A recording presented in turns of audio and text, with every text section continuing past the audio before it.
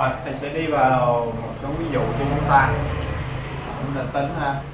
Còn bài tập thì các em ờ, nhìn cái cái bài làm mẫu của thầy là rằng trong file nó có bài tập đó. Có đáp án luôn ha. Mấy đứa có thể tính toán theo đó. Ờ, để cho nó quen dần.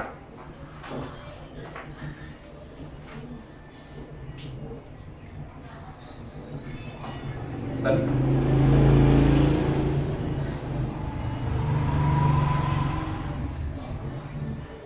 hai mũ một phần mười sáu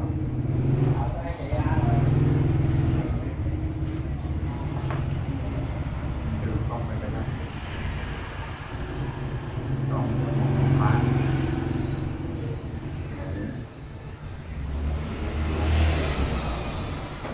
Ok. Rồi trước hết á chúng ta coi kiểm coi thử coi. À, trừ 0,75 là nó bằng à, mấy phần mấy đúng không? Trừ 0,75 là nó bằng trừ 3 phần 4 à, cái bằng bóng Thì đó là trừ ba trừ ba phần bốn. À. À. Trừ bốn phần. À, được chưa? Rồi chúng ta làm cái gì nữa đây? Ờ, 1 phần 16 Rồi chúng ta thấy nó bằng như này nè 1 phần 16 là bằng 2 mũ 4 Rồi 1 trừ 3 phần 4 Còn cho 1 phần 2 mũ 3 1 trừ 4 mũ 3 Dễ rồi mà cái mà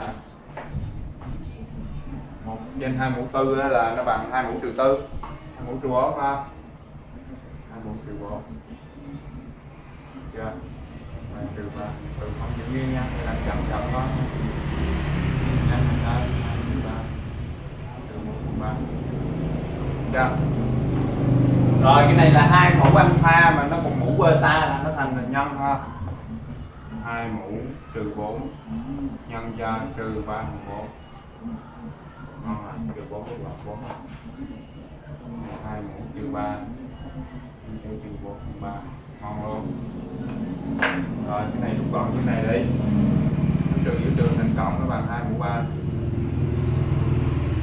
này dưới cộng hai mũ tư, ngon luôn bấm tính ha à, khỏi mười sáu hai tư, ngon luôn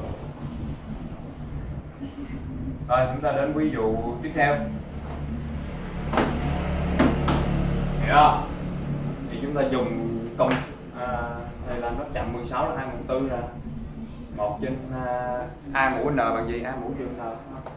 Từ từ.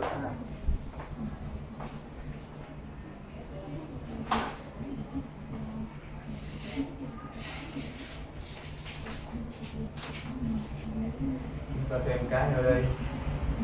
À,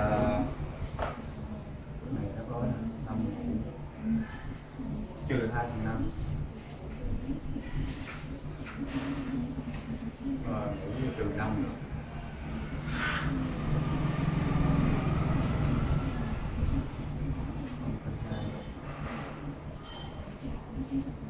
ba phần tư tất cả mũ trừ bốn à, mấy cái bài này thì các em chỉ cần áp dụng cái công thức trong cái cái, ờ, cái mục là các công thức được phép sử dụng mà không cần phải chứng minh đó, mà là có thể làm được hết không? rồi thì làm cho mình coi. Cái này dễ quá. Năm mũ alpha một mũ beta đúng không? Thì nó sẽ bằng hai cái mũ nhân nhau trừ hai thì năm.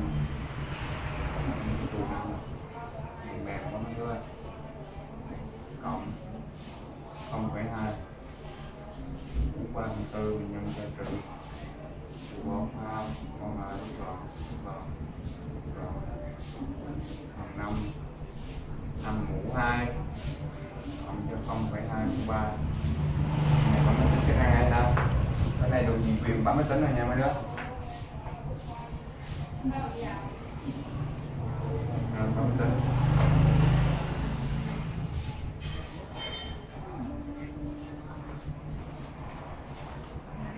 25 cộng không phẩy hai. À này trừ ba trừ ba trăm năm mươi bấm ngay lúc đầu mới được. Ta không cho điểm hơn rồi bấm chỗ này bấm được. Rồi. Ta tiếp tục qua ví dụ 2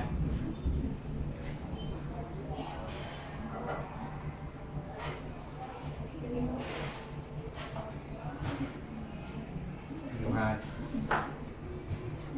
cho AB dương A, B lớn con hãy yêu cầu là rút gọn Rút gọn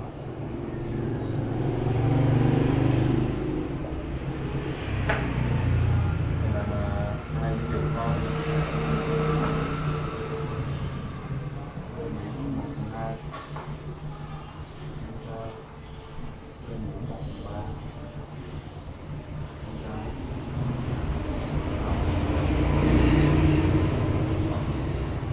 rồi này quá mệt bạn của mấy đứa chúng ta chuyển một là chuyển về căn hết hai chuyển về mũ hết nha. Bên mũ một phần hai, bên mũ một phần ba, em cho bên mũ một phần sáu. Rồi phần b mũ một phần hai, một phần ba, một phần sáu. Rồi mặt b mũ b luôn quá dễ căn bậc ba của bên.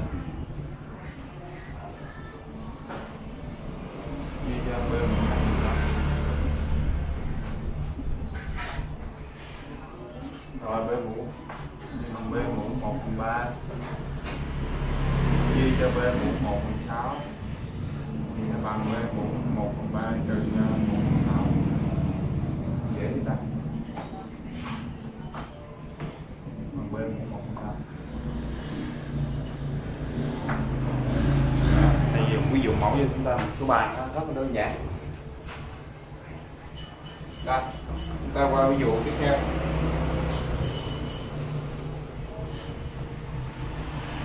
đây là một bài ví dụ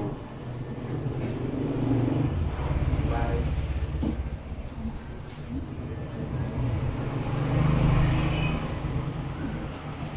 rút gọn tính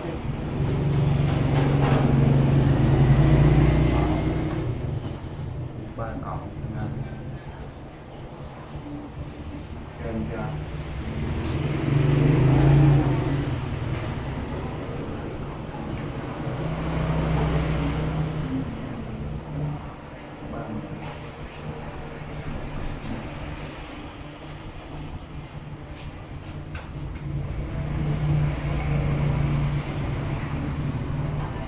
rồi này lúc còn sáu là chúng ta tách ra làm hai mũ ba cộng căn năm nhân cho ba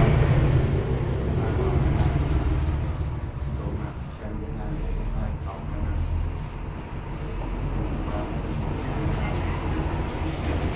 hai chia hai là nó thành hai mũ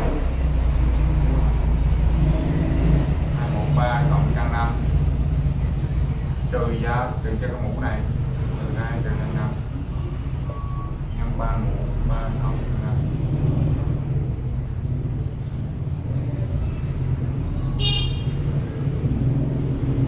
trừ ra một trừ cho căn năm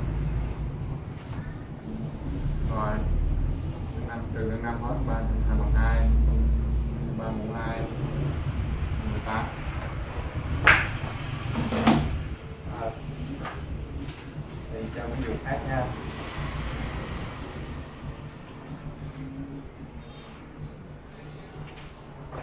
Hãy so sánh. Ví dụ 4.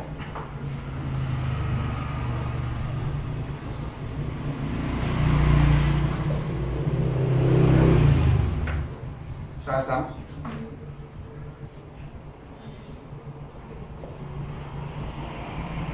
Bốn mũ trừ căn ba.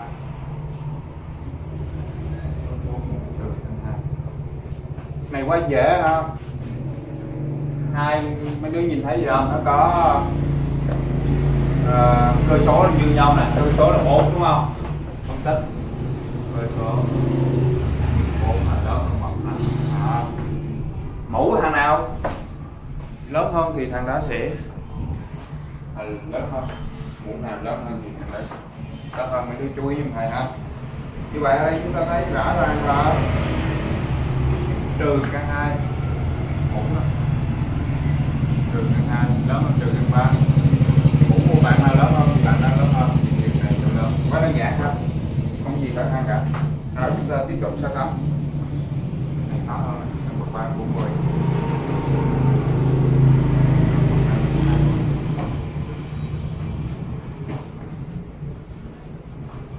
căn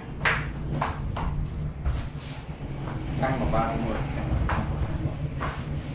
Hai cái căn này nó không cùng căn uh, ờ, loại căn đó này căn 13 này căn 100 khó so sánh lắm.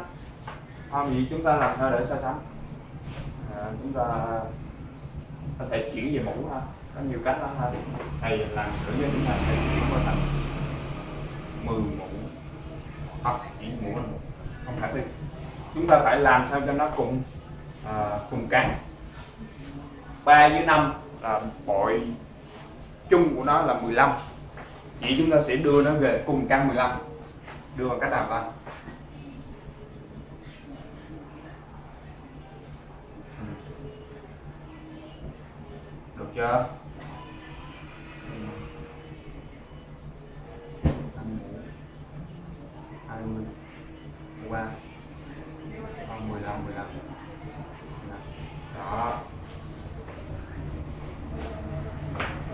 Rồi, mấy đứa có nghi ngờ hai cái này có bằng nhau không?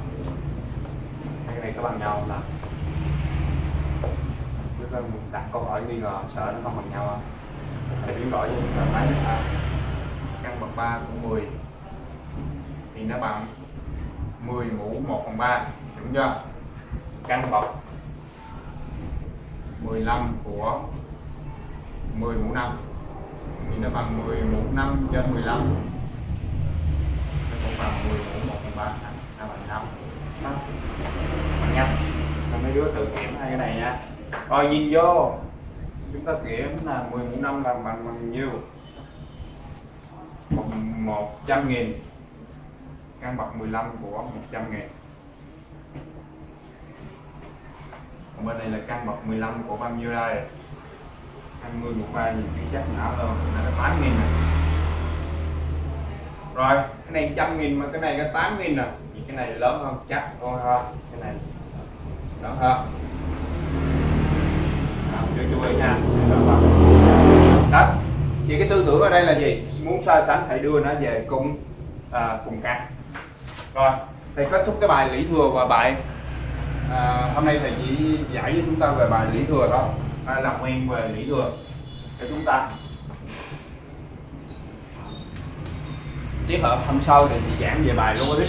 Rồi mấy đứa không có gì phải nôn nóng cả không cái vấn đề về ở đây là những cái phần học này rồi ai cũng sẽ làm được ha? Bây giờ mấy đứa hãy cố gắng học một tuần một ít. Cái phần à, gì? À, phương pháp à, tư bài toán cái gì? Tư duy trong hình phẳng ô tri ở kỹ thuật giải phương trình hệ phương trình đó. Hai cái phần đó là phần khó phần phân loại thôi. Chúng ta phải đặt những viên gạch đầu tiên học từ từ từ từ lên rồi mới mong mà làm được. Còn những cái phần này rồi ai cũng sẽ làm được à, rất đơn giản thôi.